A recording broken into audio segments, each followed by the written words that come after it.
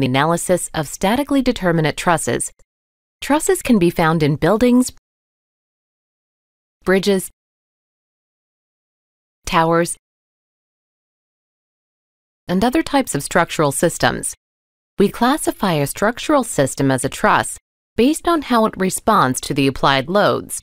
For instance, a beam when subjected to a load bends like this, resulting in the development of two internal forces, a shear force and a bending moment. A truss, however, responds differently to such a load. Its members displace and their lengths change, but they don't bend the way a beam bends. Therefore, in theory, no shear force or bending moment develops in a truss member.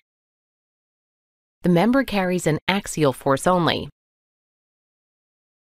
In this lecture, we're going to examine the analysis of statically determinate trusses that are defined in a two-dimensional space. We shall employ the method of joints for this analysis.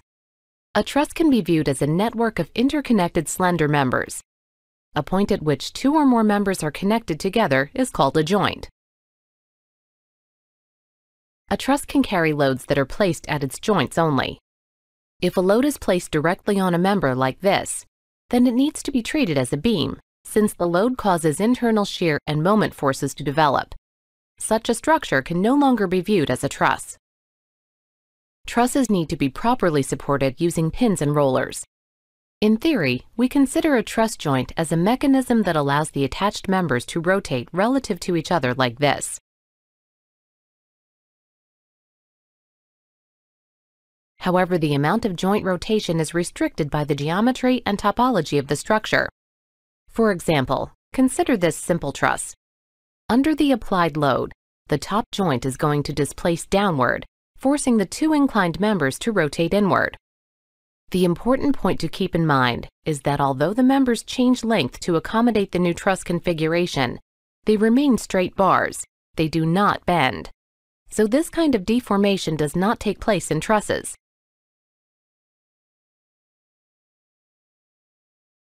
The purpose of a truss analysis is to calculate the axial force in each member.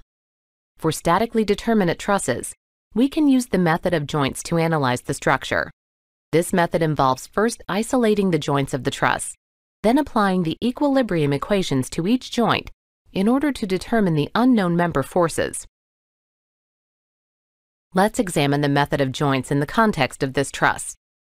To simplify the process of calculating the member forces, we can always start by determining the support reactions.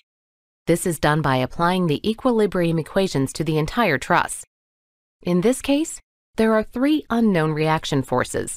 To determine them, we need to write the three static equilibrium equations. They are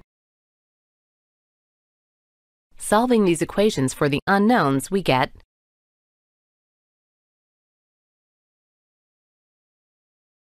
As I mentioned before, the method of joints involves isolating each joint of the truss before applying the equilibrium equations to the joint.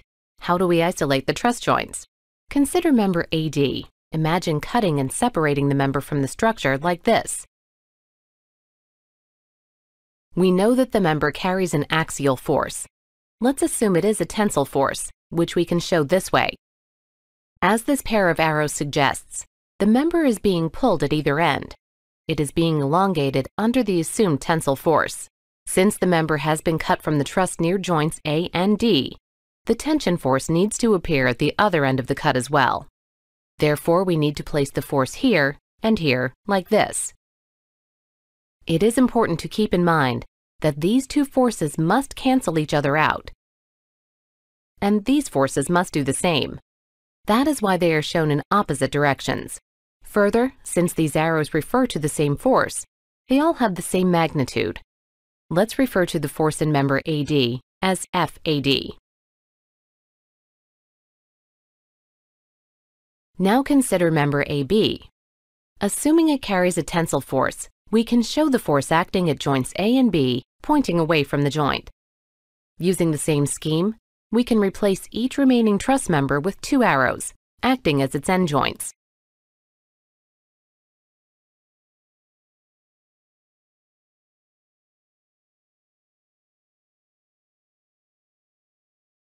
Now that we have isolated and shown the member forces acting at each truss joint, we are in a position to start calculating the unknown forces. Since the truss is assumed to be in a state of static equilibrium, the equilibrium equations must be satisfied for each truss joint. What are the equilibrium equations? There are three of them. The sum of the forces in the x direction must be zero. The sum of the forces in the y direction must be zero. The sum of the moments about the joint must be zero. Note that the third equation is automatically satisfied. That is, since every force that acts at a joint passes through the joint, its moment about the joint is zero. Therefore, we are left with these two equations for calculating the unknown member forces. Consider joint A. Four forces are acting on it, but only two of them are unknown. Applying the equilibrium equations to the joint therefore enables us to determine the unknown forces. The equations are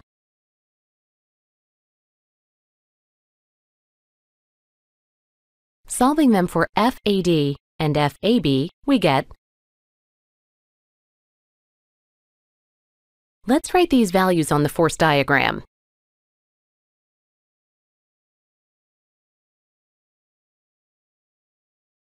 There are seven additional unknown member forces to be determined. We can determine two of them by applying the equilibrium equations to another joint that has at most two unknown forces. At this point, two joints qualify, D and F. We can use either one in the next step. Let's use joint D. The unknowns at the joint are FBD and FDE. The equilibrium equations applied to the joint are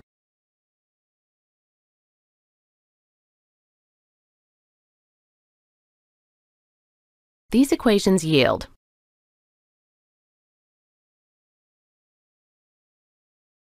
What does the negative sign for FBD mean? It means the direction of the force is opposite to what was assumed initially. We assumed all the truss members were in tension. The negative sign tells us that member BD is in compression. Therefore, we can either keep the direction of the force arrow as is and write negative 7.5 kilonewtons next to it or we can reverse the direction of the arrow and write positive 7.5 kilonewtons. Either way, we are stating that the member is carrying a compressive force of 7.5 kilonewtons. For the sake of simplicity, I'm going to keep the original direction of the force arrow and write negative 7.5 as the force magnitude to indicate that member BD is in compression. This eliminates the need for redrawing the diagram thereby simplifying the steps involved in solving the problem. Here's the revised force diagram.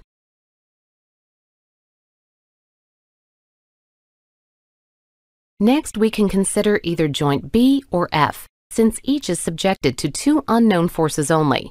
Let's go with joint F. We can write the equilibrium equations for the joint this way. Solving them for the unknown forces, we get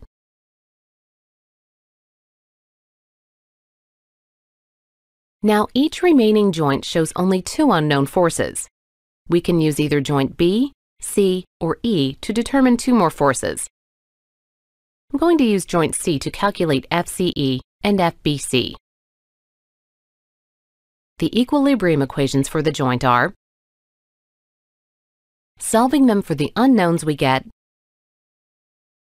Given the negative sign here, we know that member CE is in compression carrying a force of 7.5 kilonewtons.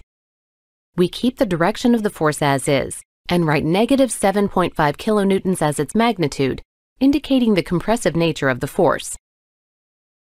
At this point, only one unknown force remains, FBE. We can either use joint B or E to determine the force. Let's use joint E.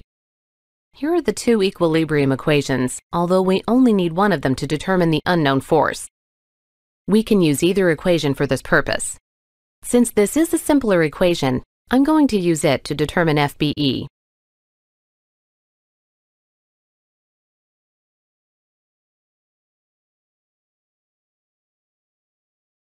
This concludes our analysis of the truss as we have determined all the member forces.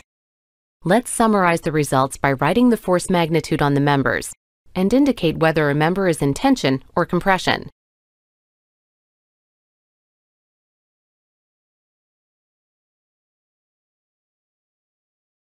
So the truss has two compression members, six tension members, and one zero force member.